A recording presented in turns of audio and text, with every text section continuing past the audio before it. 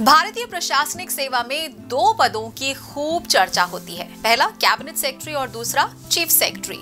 ये दोनों ही पद प्रशासनिक व्यवस्था में सर्वोच्च स्थान रखते हैं। इन दोनों पदों में कुछ समानताएँ हैं और कुछ अंतर भी हैं।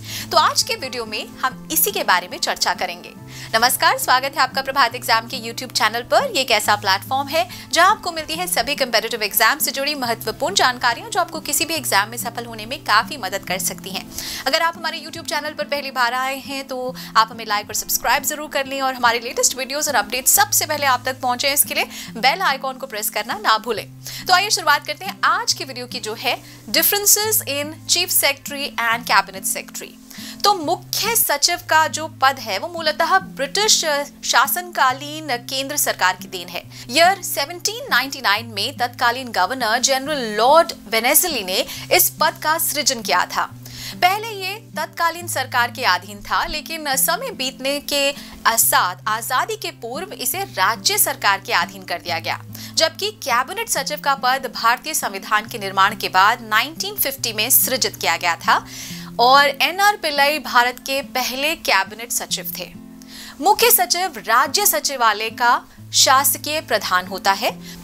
वह राज्य प्रशासन का प्रशासनिक प्रमुख होता है तथा राज्य के प्रशासनिक पदानुक्रम में उसका सर्वोच्च स्थान है।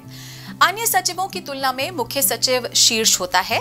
वस्तुतः मुख्य सचिव सचिवों का प्रमुख है तथा सचिवालय के सभी विभाग उसके नियंत्रण में होते हैं।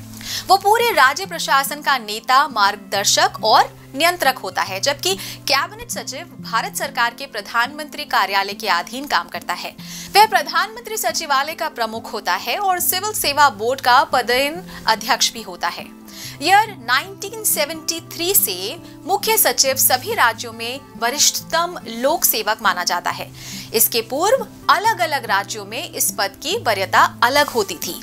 शासनिक सुधार आयोग की सिफारिश पर ईयर 1973 में इस पद का मानकीकरण किया गया तथा इस पद को दर्जे और परिलब्धियों दोनों ही दृष्टि से केंद्र सरकार के सचिव के पद के समतुल्य बनाया गया। लेकिन केंद्र सरकार में राज्य के मुख्य सचिव पद के समतुल्य कोई पद नहीं है।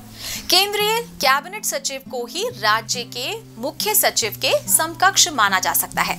वास्तविकता यह है कि मुख्य सचिव द्वारा प्रशासन में जितने अधिक कार्य और भिन्न भिन्न भूमिकाएँ अकेले निभाई जाती हैं, उन कार्यों के लिए केंद्र सरकार में कैबिनेट सचिव, कार्मिक सचिव, गृह सचिव और वित्त सचिव हैं।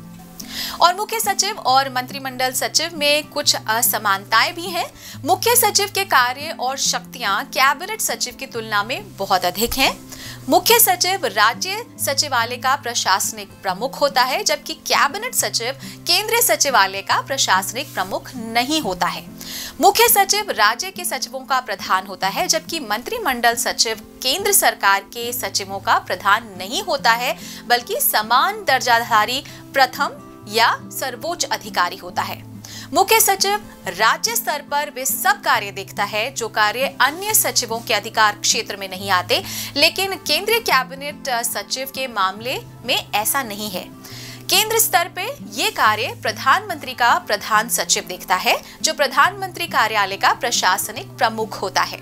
राज्य सचिवालय के कुछ विभाग सीधे मुख्य सचिव के अधीन होते हैं, लेकिन कैबिनेट सचिव के अधीन, कैबिनेट सचिवालय के अतिरिक्त केंद्रीय सचिवालय का कोई भी विभाग नहीं होता। और अब बात करते हैं कि इन दोनों पदों में समानताएँ क्या हैं। तो दोनों अपने अपने मुख्य कार्यपालकों के प्रमुख सलाहकार हैं। दोनों अपने अपने प्रशासन के मुख्य समन्वयक हैं। दोनों अपने अपने मंत्रिमंडल के सचिव हैं। दोनों अपने अपने कैबिनेट सचिवालयों के प्रशासनिक प्रमुख हैं। दोनों पदों की उत्पत्ति केंद्र स्तर पर हुई है। तो दोस्तों, आशा है कि अब आप मुख्य सचिव और कैबिनेट सचिव के बीच जो डिफरेंसेस हैं और जो सिमिलैरिटीज़ हैं, वो सब समझ गए होंगे। और अगर आपको हमारा ये वीडियो पसंद आया हो तो अपने दोस्तों के साथ भी इसे ज़रूर शेयर करें। और अगर आपके पास हमारे लिए कोई सवाल है, आप हमसे कुछ पूछना चाहते हैं या कुछ जानना चाहते हैं तो कॉमेंट बॉक्स में लिखकर हमें ज़रूर बता दें। तो जल्दी आपसे फिर मुलाकात होगी एक नए टॉपिक पर, एक नए वीडियो के साथ। देखते रहिए प्रभात एग्ज़ाम नमस्कार।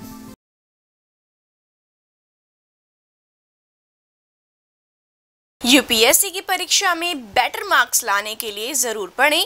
प्रभात प्रकाशन के प्रभात एग्ज़ाम द्वारा प्रकाशित पुस्तक UPSC 27 years civil services preliminary exams 2022 IAS और डॉक्टर मनीष रंजन द्वारा इस लिखित पुस्तक में है। आपको मिलेंगे 1995 से 2021 के जनरल स्टडीज़ और सी सेट के टॉपिक वाइज सॉल्ट पेपर्स और साथ ही पिछले 30 वर्षों के एसेज टॉपिक।